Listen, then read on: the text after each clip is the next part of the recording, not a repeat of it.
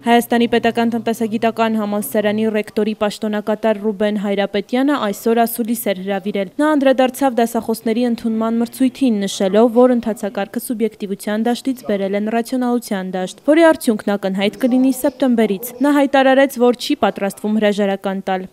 Մեր գործընկերները, ովքեր որ այդքան ակտիվ եւ այդքան մեծ ջանքերով փորձում են իմ մատնախոսության մեջ դիվերսիոն ձևով ինչ որ խնդիրներ բացահայտել։ Իրենք նախկինում լրում էին, չէին խոսում դրա մասին։ Եվ սա ինչ է, հանցավոր լրություն է։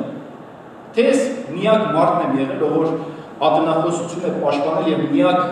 պատասխանատունն եմ այդ ամբողջ համակարգում պաշտպանված ադնախոսությունների որակին։ Իդեպ ասուլիսի ընթացքում անվտանգության աշխատակիցները համալսարանի ռեկտորի պաշտոնավարման դեմ հանդես եկող դասախոսներին ներս չէին թողել։ Լրագրողների հետ զրույցում Հայաստանի պետական տնտեսագիտական համալսարանի աշխատանքի եւ տնտեսագիտության ամբիոնի դասախոս Գագիկ Շահնազարյանն անդրադառնալով ռեկտորի պաշտոնակատարի ատենախոսությանը նշեց, որ աշխատանքի վերաբերյալ բարձրագույն որակավորման հանձնաժողովի կողմից նշանակված երկու գաղտնի սև ընդդիմախոսների կարծիքներն էլ բացասական են եղել։ Հայաստանի Հանրապետությունում աստիճանների նշանակման կանոնակարգի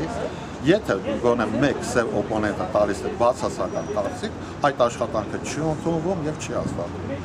Հարց առաջանում ոնց եղավ որ երկու օպոնենտի բացասական կարծիքի պայմաններում այդ դոկտորական ատենախոսությունը ընդունվեց եւ հաստատվեց։ Ընդ որում, այդ նյութի մեջ նշված է այդ օպոնենտների կարծիքները